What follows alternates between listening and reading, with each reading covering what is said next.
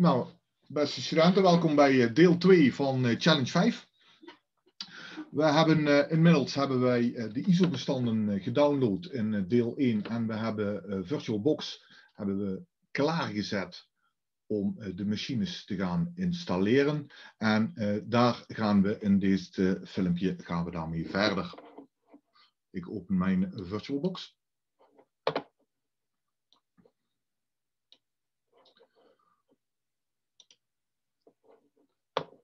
Hier staan die drie, de, die drie uh, virtuele machines die we hebben klaargezet in de vorige video.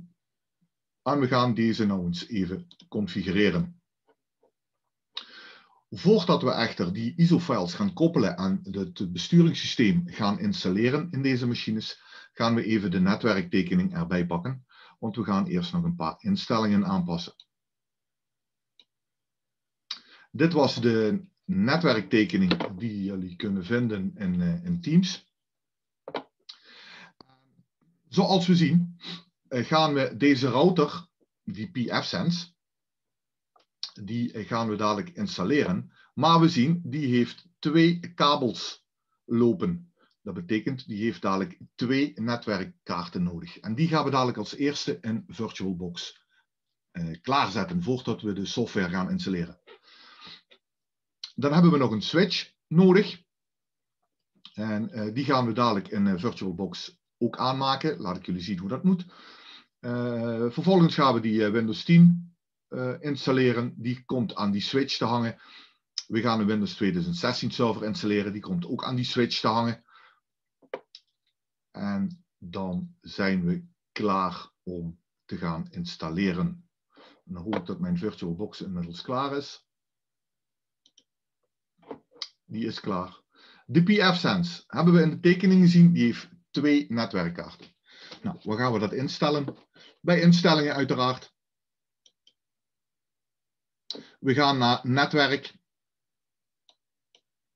De eerste adapter die is gekoppeld aan de NAT, de Network Address Translation. Die gaat dadelijk een IP-adres krijgen van mijn eigen netwerkkaart. Die laten we zo staan. Die gaat dadelijk naar internet. Echter, de tweede adapter, die bij mij nog niet geïnstalleerd is, die gaan we aansluiten en die gaan we aansluiten op de switch. Zoals in de tekening staat. Nou, ik zet een vinkje bij netwerkadapter inschakelen. Waar ga ik die aan koppelen? Nou, ik ga nu een switch aanmaken en dat heet bij mij een intern netwerk. Ik ga die intern netwerk kiezen. En vervolgens ga ik dat interne netwerk ga ik een naam geven. Nou, mijn VirtualBox zitten al een aantal machines in en dus ook een, al een aantal switches. Wij hebben ervoor gekozen om de naam van de switch Challenge 5 te geven. Zie hier staan. De switch. Het is een intern netwerk en we noemen hem Challenge 5. Mag ik dat ook een andere naam geven? Jazeker.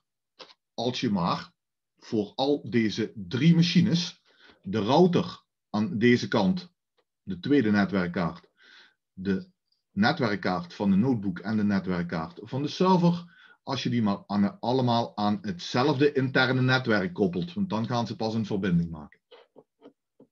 Wil je daar iets anders voor kiezen? Voel je vrij om een andere naam te kiezen ik zie het graag terug in uh, jullie documentatie, want dit gaan jullie uiteraard ook documenteren uh, voor deze challenge. En vandaar heb ik hem ook uh, challenge 5 genoemd. Dus adapter 1 staat aan de bovenkant. Die gaat naar het internet. Die laat ik staan op NAT. Adapter 2 moet verbonden worden aan een intern netwerk. En dat interne netwerk noem ik challenge 5. En dat is eigenlijk een switch. Oké. Datzelfde doe ik voor de Windows 2016 server alvast. Ga ik ook naar instellingen. Ook daar ga ik naar netwerk. Hier is er één adapter ingeschakeld. Die hangt nu aan de NAT. Dat wil ik niet. Die moet namelijk aan die switch komen te hangen, aan het interne netwerk. En nu heb ik gezegd, die heet Challenge 5. Oké. Okay. Hetzelfde doen we natuurlijk ook voor de Windows 10 versie. Instellingen netwerk. Intern netwerk. challenge 5. Oké. Nou, nu gaan we eens de machines installeren. We zijn nu klaar, we hebben het netwerk gebouwd. We hebben deze setup gebouwd nou. De eerste netwerkkaart van de router die gaat naar internet via NAT. Laten we zo staan, doen we verder niks aan. De tweede netwerkkaart, die hebben we gekoppeld aan een switch, interne netwerk. En die hebben we genoemd Challenge 5. Zo ook de notebook, zo ook de server. De PF-Sense ga ik als eerste installeren. Ik selecteer hem links en ik kan op starten klikken. En wat hij nu als eerste gaat zeggen is, hij zegt van ja, er staat nog geen besturingssysteem op op deze machine. Geef me maar een opstartschijf. Dat wordt die ISO-file. Vroeger gebruikten we dvd'tjes of cd'tjes daarvoor. Tegenwoordig gebruiken we heel vaak de ISO-files. Is hetzelfde eigenlijk als die dvd. En uh, door op het gele mapje te kiezen, uh, kan ik gaan zoeken waar die staat. Dit mag je even vergeten, dat zijn mijn vorige ISO-bestanden die ik allemaal gebruikt heb. Linksboven naar toevoegen. En ik ga nou zoeken waar mijn ISO-files staan. Nou, mijn pfSense, die staat hier. Dat is het bestand wat ik gedownload heb. Openen. Nou komt hier erbij te staan. De pfSense. Die ga ik kiezen starten die handel.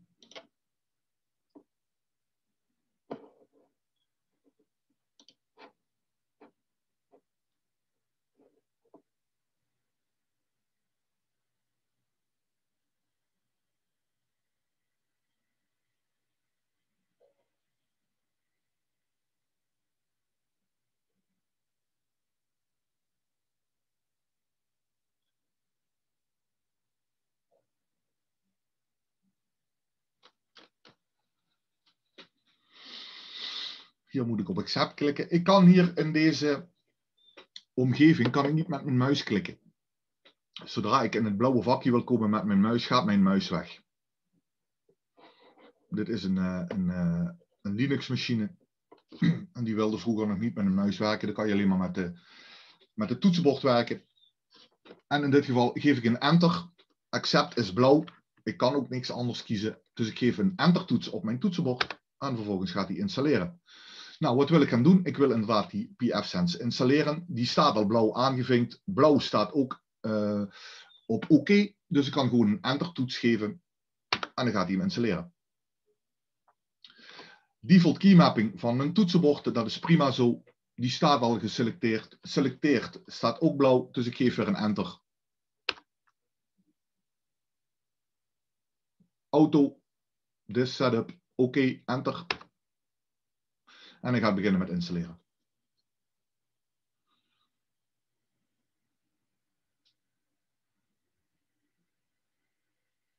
En afhankelijk van je eigen snelheid van je eigen machine eh, gaat dit wat sneller of wat langzamer.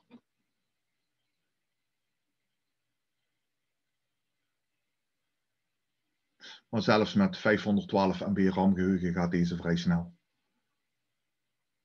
Installation is finished. Uh, wil ik nog uh, een aanpassing maken? No. Staat ook al blauw, dus ik hoef maar een enter te geven. En nou is die complete en wil je rebooten? Ja, dat wil ik.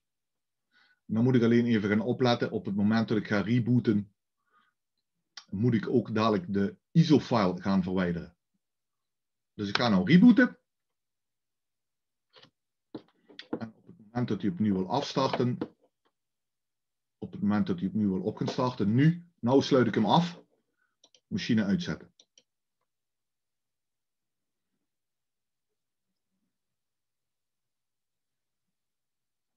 Waarom doe ik dat?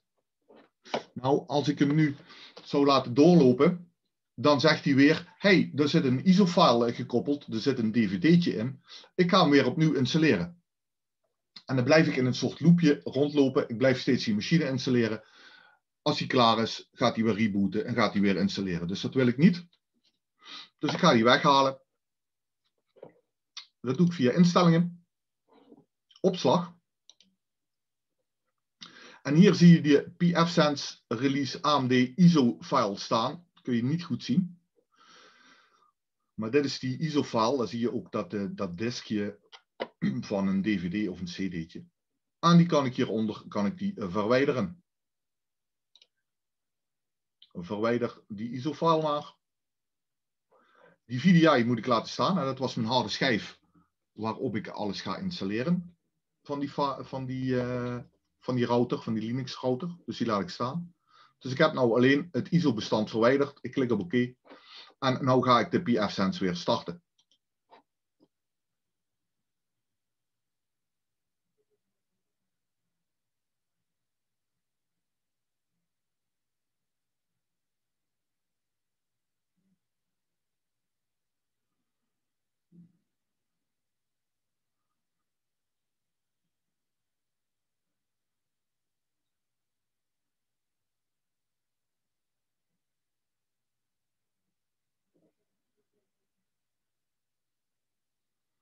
Duurt maar een paar minuutjes.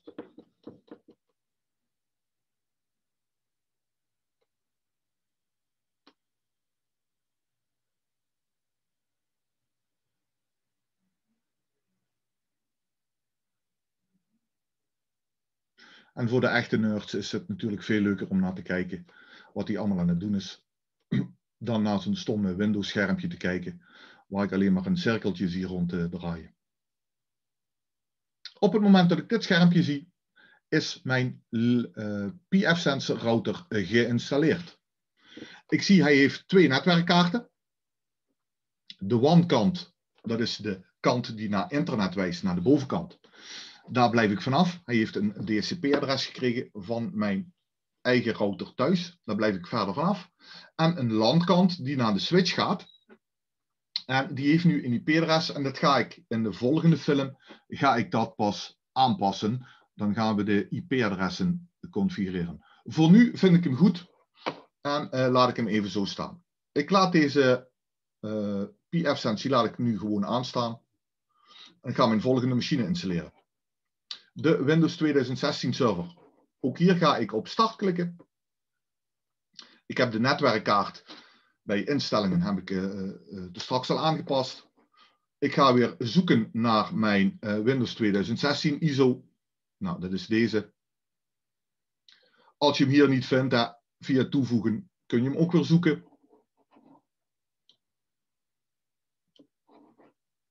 Dit, in dit geval is dat deze.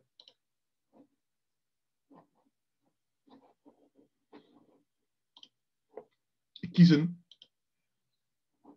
Windows 2016 server, de 64 bits DVD starten.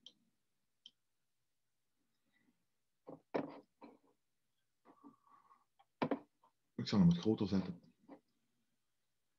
En nu gaat hij Windows 2016 uh, installeren. Language. Voor een server variant probeer altijd de Engelse variant te kiezen. Waar je op moet letten is bij de keyboard. Die moet namelijk op US International komen te staan. Omdat dat het keyboard is dat wij uh, veelal gebruiken in onze eigen notebooks. En uh, die staat twee posities hoger dan US. En ik kan nou met de pijltjestoets twee keer omhoog op mijn toetsenbord. Twee keer omhoog en dan kom ik bij United States International. En dat is het correcte keyboard layout. Het toetsenbord dat wij op onze notebook hebben. Dus die zet ik op eh, US International. Next. Installeren die handel.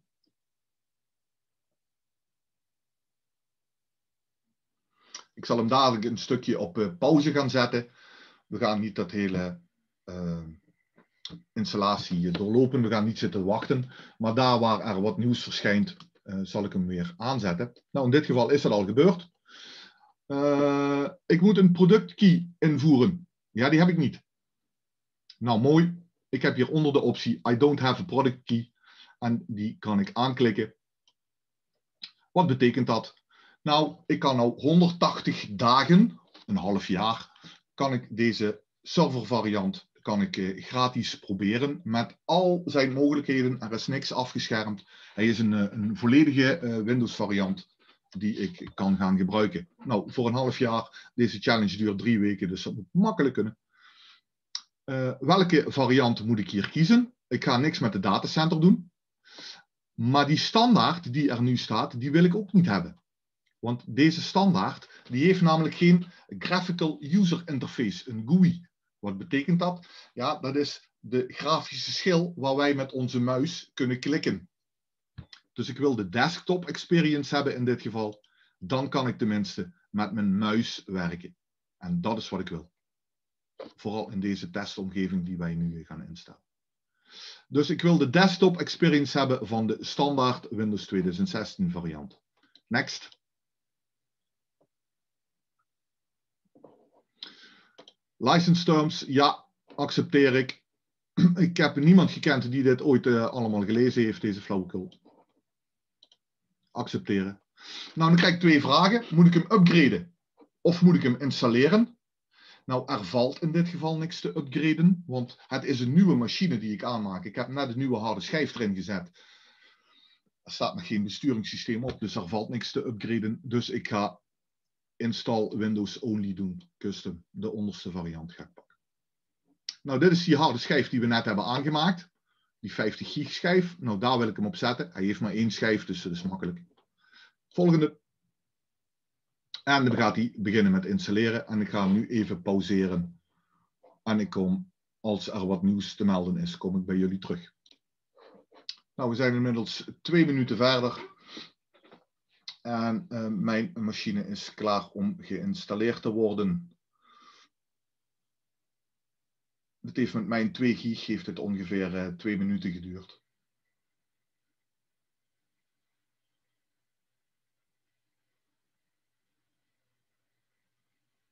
En hij gaat voor de eerste keer opstarten.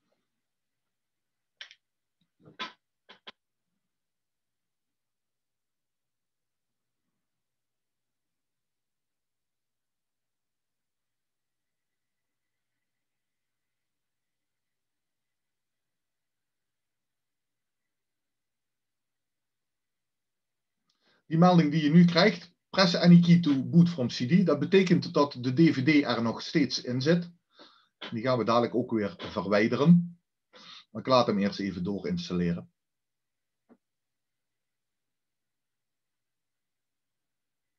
Nou, dan moet ik een wachtwoord geven voor de administrator. Ik kan de gebruikersnaam administrator kan ik nou niet wijzigen.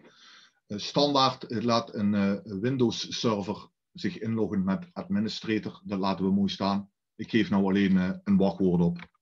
Dat voor mij uiteraard bekend is.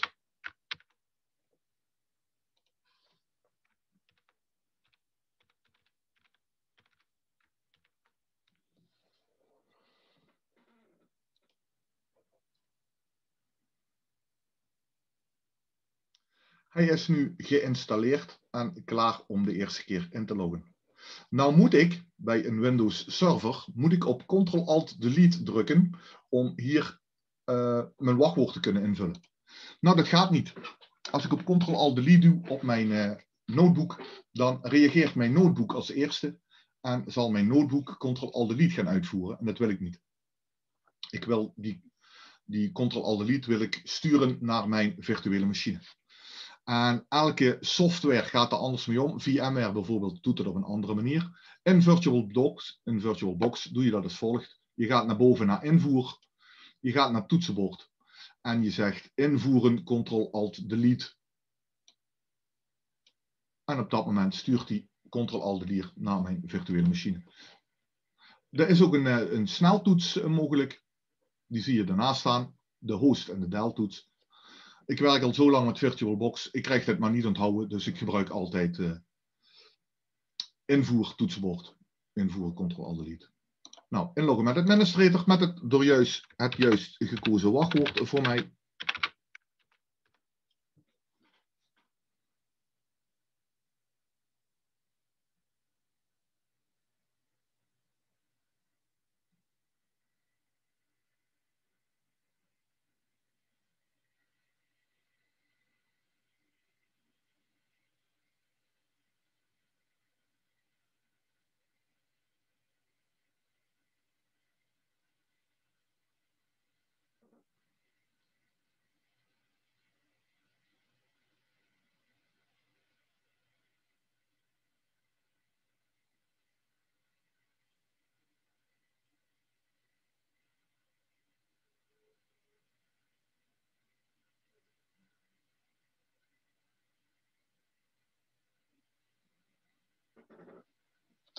Eerst ik nog even wat dingetjes aan het configureren.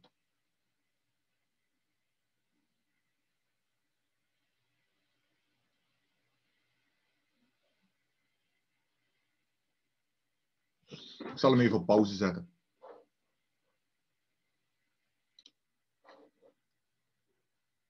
Nou, inmiddels uh, is hij klaar met configureren. Het heeft niet zo lang geduurd. Uh, hier zegt hij iets over een netwerk. Klik maar op yes. En mijn machine is geïnstalleerd. Ik heb hier nog verder niks aan geconfigureerd. Ik laat hem ook mooi even zo staan. Gaan we in de volgende filmpje gaan we hier verder mee. Deze laat ik staan. Als laatste ga ik mijn Windows 10 machine instellen. Weer hetzelfde uiteraard. Ik ga hem starten. Hij zegt weer, hey, er zit geen besturingssysteem op, geef hem maar een dvd'tje. Oké, we pakken de Windows 10 Multiple Edition. Die kies ik.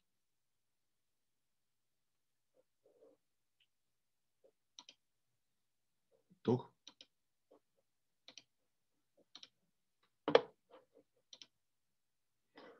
Staat inmiddels op een andere plek. Deze is dat.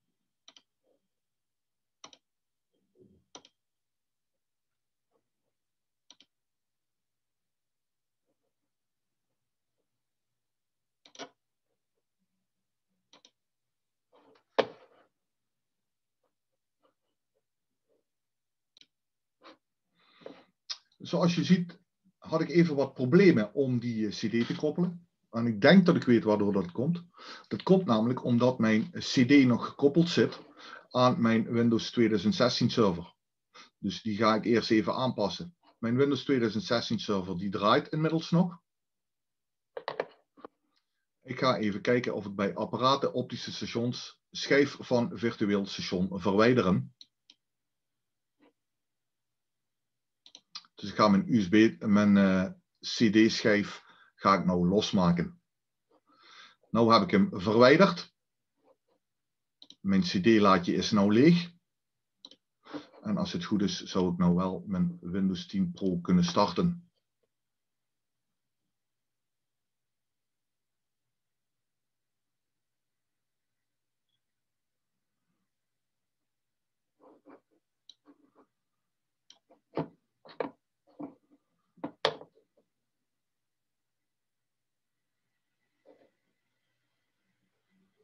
Dan ben ik even twijfelen of ik nou de goede gekoppeld heb.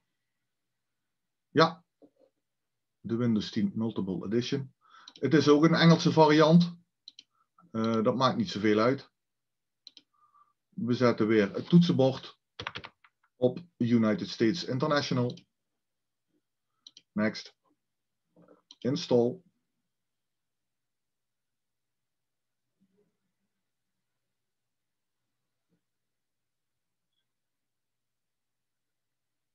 Hij vraagt toch om die product key. Die hebben we niet. I don't have a product key kunnen we ingeven. Nou krijg je de vraag, wil je een Windows 10 Pro versie of een Windows 10 Home versie hebben? Wij willen de Pro versie hebben. Waarom? Ja, we willen hem straks aan een domein koppelen, uh, aan de server gaan koppelen. Uh, en daar hebben we een Pro versie voor nodig. Zijn we inmiddels achter gekomen. Dus pak de Pro versie. Next. Ook hier weer het vinkje zetten bij uh, accept the license terms. Ook hier gaan we weer een installatie doen door de tweede optie te kiezen. 50 gig hebben we aangemaakte schijf. Dat gaat helemaal goed komen. En we gaan weer even wachten totdat deze met een interessant schermpje terugkomt. Nou, inmiddels is mijn eh, Windows 10 uh, eh, Pro versie is, twee keer opnieuw opgestart. En hij zegt nu, uh, hij komt nu bij de volgende instellingen die we even moeten gaan configureren. Uh, welke regio zit je? Nou, ik zit niet in de United States. Ik ga even naar boven. Ik ga even op zoek naar de N van Nico. En ik kom daar Nederland tegen en die installeer ik even. Yes. Uh, keyboard wil ik niet van Albanië hebben. Ik wil de Verenigde Staten hebben, United States International. Daar komt hij weer. Die wil ik hebben. Ik hoef geen uh, tweede keyboard layout toe te voegen. Skip.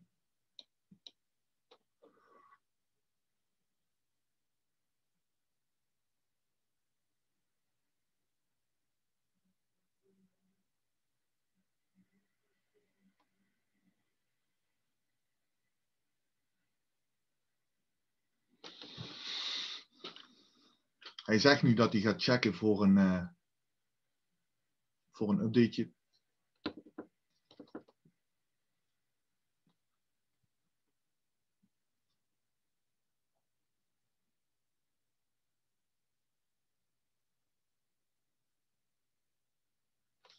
Nou, we gaan nog even pauzeren. En komen dadelijk terug. Nou, we zijn inmiddels terug. En hij zegt van welk account wil je gaan gebruiken. Uh, nou, ik wil een uh, personal account. Ik ga nog niet voor een organisatie. Dat gaan we later zelf installeren. Dus ik wil hem voor personal use installeren. Die selecteer ik en ik klik op next.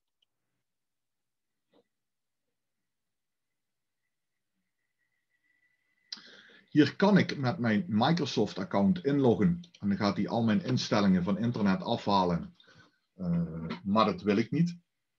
Ik wil gaan kiezen voor de optie offline account. Hier linksonder. Hij hoeft niks te synchroniseren. Ik wil gewoon een Windows machine in de lucht duwen. Ik wil dus een offline account hebben. Je moet wel een gebruikersnaam ingeven. Nou, vooruit dan. Mijn voornaam. Ik moet een wachtwoord ingeven.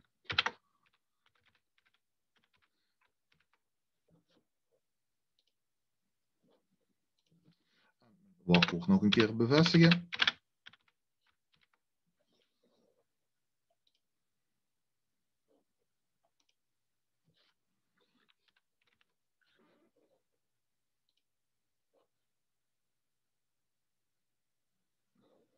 Cortana hoef ik niet. No. Dit laat ik allemaal staan. Accept.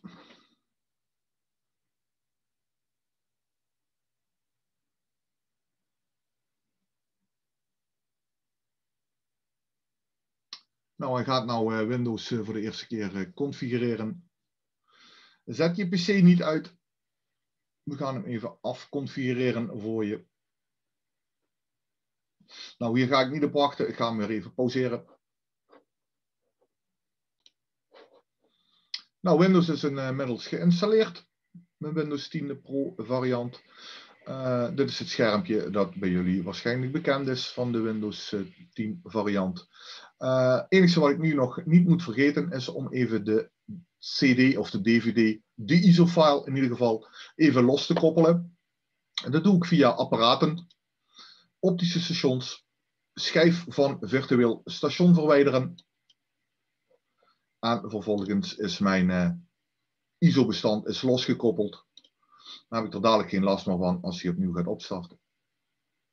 Nou, we hebben nu uh, drie machines geïnstalleerd in uh, VirtualBox. De PF-Sense, de Windows 2016 server en de Windows 10 Pro variant.